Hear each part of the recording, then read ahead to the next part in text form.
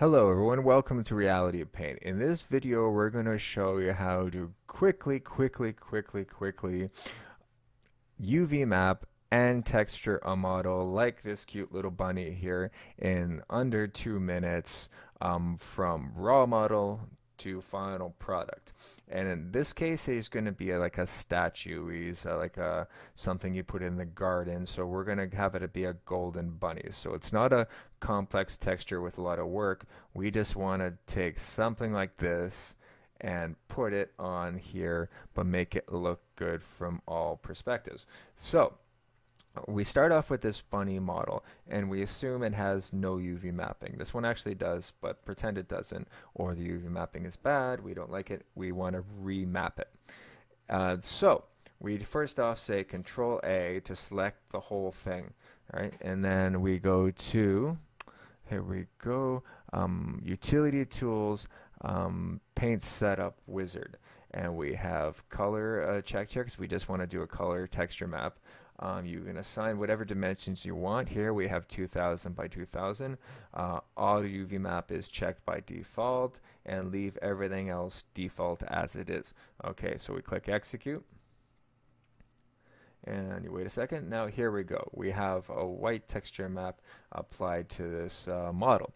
So now we're going to show you how it uh, how the UV mapping looks by a few different ways. First, if I click display UV mapping here, and I just move the cursor over, we see overlaid here is sort of this, this, all these little pieces of the surface are cut out and flattened and and laid out in the UV space.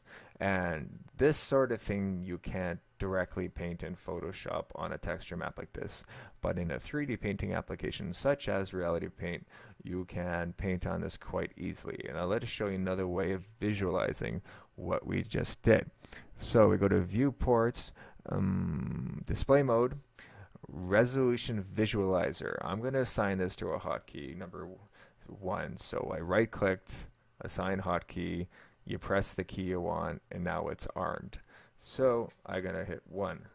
Now here we see um, how this is sort of laid out in UV space. Um, let me just show you. Okay, so now, if we look, zoom in here, we notice all these little tiny square uh, squares here.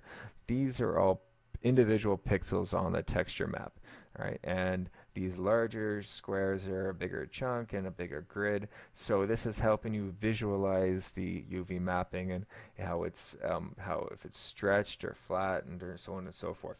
And so we look around at different perspectives, and if you notice in all these little nooks and crannies, right? See, areas like this is where you expect the UVs to be stretched. But because we cut it into chunks and flatten it out, everything is sort of locally flat. So, um, so UV map stretching is set to an absolute minimum in this case. But the trade-off is lots of seams. And uh, traditionally you would think a seam right in the front of your object, right in the middle of the face is bad. But that is just happens to be not the case here, and I'm going to show you in just a minute what kind of great results you can get uh, using this method. So let's get back to it. I'm going to hit this hotkey again to bring it back. Now here is our brush image that we're going to use. So we put it onto here, and this is going to basically just texture our brush strokes. This is not the same as the actual texture map on the model. This is going to be projected onto the texture map. So let's take a paintbrush, paint, uh, paint tools, paintbrush, and we're going to start off with um, hidden surface removal set to none, right? And we're going to have fade by angle unchecked. This is important because we're going to use this later checked. So, uh, and another thing is you want to set up your projection. By default, it'll do this um, brush will uh, image will get projected in the rectangle of the viewport, but we're going to get a little more specific here. You can already see I did it, but we'll do it anyway. Um, so I push Shift V to get the brush tile setup, or you can utility tools, brush tile setup. Here we go, and you choose the fixed plane, and you can go frame. And if I click on frame and then click in the viewport here, and I stretch it somewhat um, larger than the object because I don't want the edges of this um, texture to start repeating midway through. And I also check auto align with viewport. And let me show you what happens if that's not checked. If that's not checked, I just define this flat plane. Now, if I rotate uh, using F3 hotkey, then you notice how this plane is in the same place it was before, right, as I move around, which is often what you want. But in this case, we want to make things easier. We want this plane to follow us in whatever view we're in. So if I say auto align with viewport, now if I rotate, that plane is always going to be flat, flush, coming, you know, right flat at, from our perspective. Okay, that's what we were looking for in this case. It makes it easier.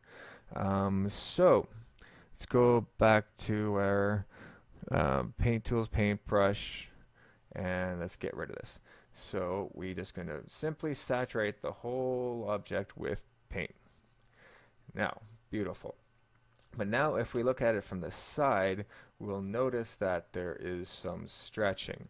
Now this stretching is not UV stretching from the UV map.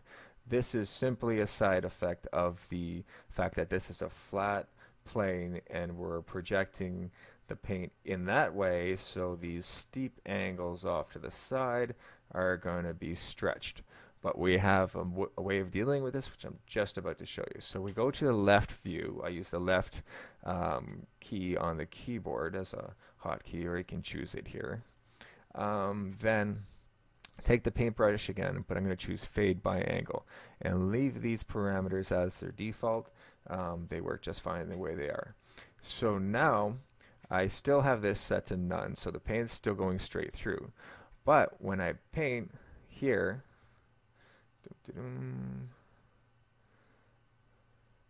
now you might expect, because I just painted from this perspective, that it's going to be all stretched on the other side. Um, but in this case, when I rotate, it is not. This uh, is still has the same paint that it was from the previous time because um, the fade by angle means that as the angle from the surface relative to this plane becomes greater as they go off to the side, go over to the edges, fade the paint so it's just not being applied as much or at all. And so in that case, you're, you're not destructively um, altering the texture on this side while you paint on this side. Otherwise, you're going back and forth. You paint here and you get stretches. You paint here, you get stretches there, and it's you just can't deal with it. So this is how you deal with it. Okay, and now shift down is setting the viewport to top. And we notice from this perspective, we still have these stretches. All right, so I'm just going to go back to my paintbrush and I'm going to paint, do the exact same thing. I'm just going to paint everything from this angle with fade by angle on. So notice that's three paint strokes. One from the front without fade by angle, where this is off, right? One from the left when this is on, and one from the top when this is on. And let's look at the result. We take a look at the result, and from every angle, that it looks flat and seamless and smooth. You don't see uh, stretching, you don't see uh, warping or seams. This could just be a nice golden bunny that you're going to put in your scene. He's in the garden, in the background, he's doing something. Point is, he looks good from all angles, and you just move on with your project. You don't have to spend two hours texturing the damn bunny who's just at the back of the render. He's done in a minute. He's done in two minutes. Finished. Now, I this video took longer than three minutes because I was explaining everything to you, so I'm just going to repeat the process now without talking so much, and you can see just how easy and quick it is to do that. So I'm going to clear that. Okay, so I do, do delete. Okay, and I'm going to reset everything to default. So shift. Ah, I can't do that. Okay, so Control A, spacebar, utility tools, uh, paint setup wizard. Uh, set this up. Da, da, da, da. Okay, execute. Okay, Now he's done. I'm going to drag and drop my texture in here, and I'm going to Shift V um, to go a fixed plane, frame, space, drag it out, auto align with viewport, done. Okay, now I'm going to choose my paint tool, paintbrush, and none, fade by angles off the first time, and I'm going to paint. And da, da, da. Now from left view, um, fade by angles on. And from top view, fade by angle is on. And voila, done. That's it. Move on to the next thing. This bunny is looking good. Job well done. So this just shows you how powerful this auto UV mapping feature is uh, because you can just take uh, you can take objects that are not meant to be um, like foreground objects, not with a huge amount of complexity, and you just want to say, I want to just texture this thing now, and I don't want to deal with UV maps. So you auto UV map it, you do with this procedure, and he's done, he's ready, you export it, you put him in your scene, you move on. So thank you very much for watching this video. I hope you found it informative please stay tuned. We're going to have lots, lots, lots more videos coming up, and uh, subscribe to the channel so you get the you get the updated right away in your feed. And uh, I will see you guys next time. Bye.